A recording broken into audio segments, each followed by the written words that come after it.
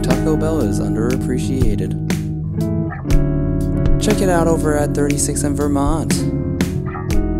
Get that $506 box. Fill her up with some tacos, nachos, and some sauce. Yeah.